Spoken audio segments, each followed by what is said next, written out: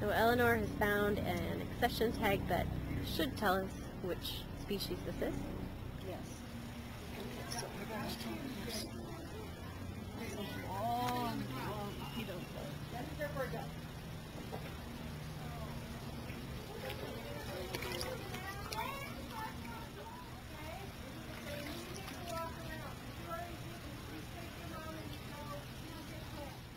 We want to split that in half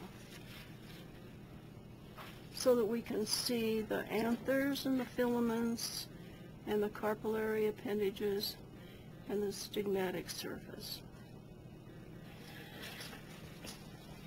That it's important to put some information on this newspaper.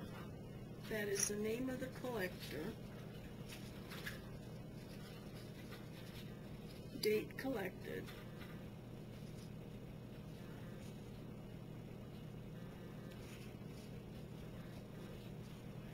an accession number if you have one, the location of where it was collected, and this was collected in the Monet Garden, or the Monet Pool. And you need the name of the water lily. This one is Tropic Sunset.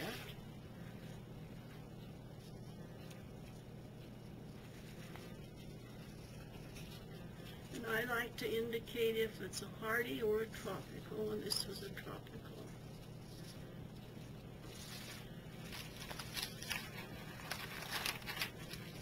So, open the newspaper. And now I'm going to split this water lily.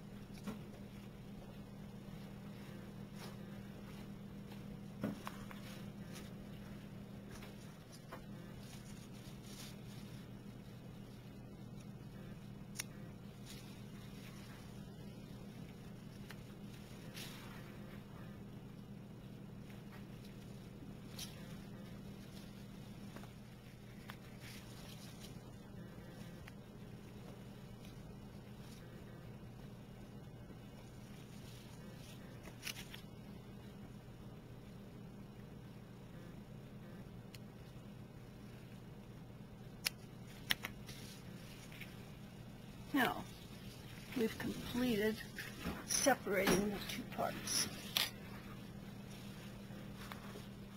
The fluid that was on the stigmatic surface and this surface tends to be sticky. So I put this little piece of art paper over that spot so that the newspaper will not stick to that. And this can be easily removed. And I'm going to lay it in the, the newspaper. And they're both very nice.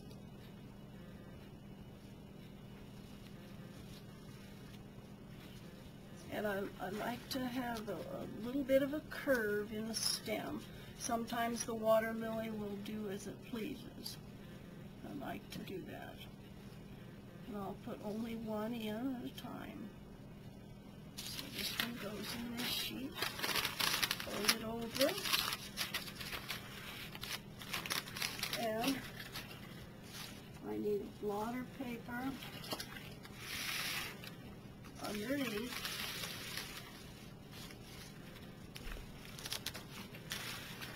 And blotter paper on top. To absorb the liquids. And another cardboard is on top of that.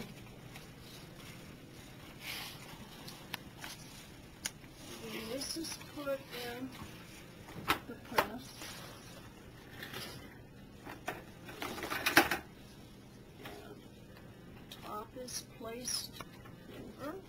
And then we're ready to close that up these straps.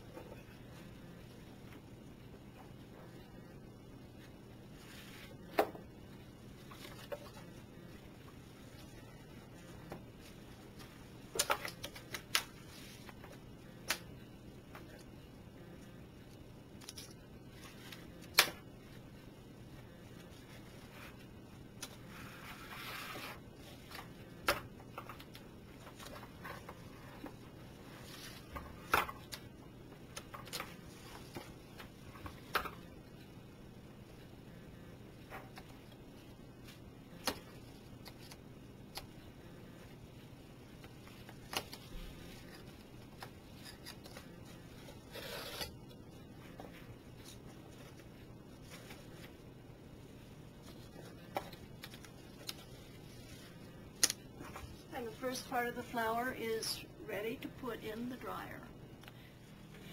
At this point in the process of making an herbarium specimen,